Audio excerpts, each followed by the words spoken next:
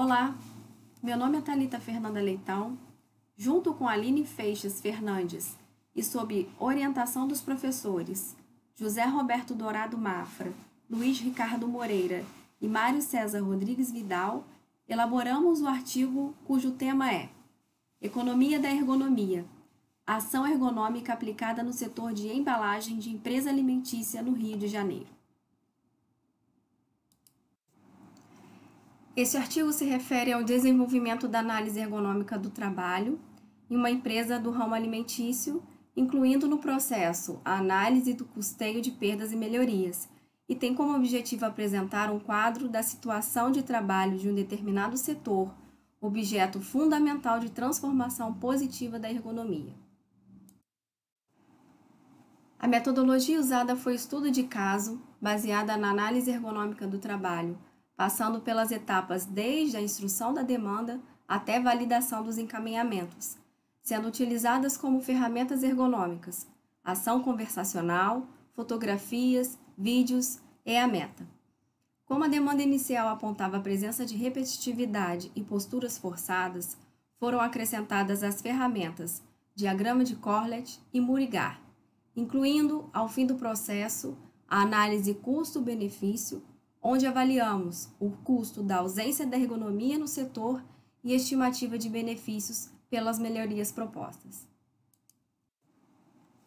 A demanda gerencial situada no setor de embalagem durante a atividade de empacotamento foi confirmada como demanda ergonômica.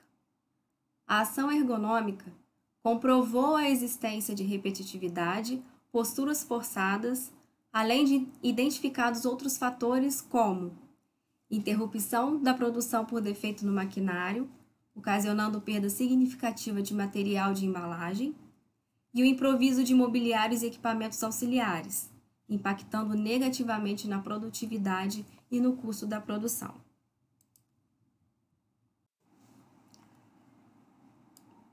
Como solução, foi indicado o investimento em equipamento de auxílio ao empacotamento, idealizado pela equipe de ação ergonômica a ser desenvolvido pelo setor de manutenção da própria empresa.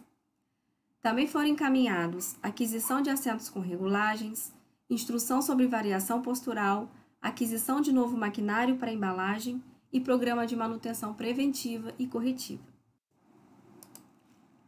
Durante a análise de custo-benefício, o valor da perda financeira por ausência de ergonomia foi de 24 mil reais mensais, onde 20 mil correspondia ao lucro cessante devido à interrupção da produção e 4 mil ao desperdício de material, totalizando o valor de aproximadamente 432 mil reais em 18 meses.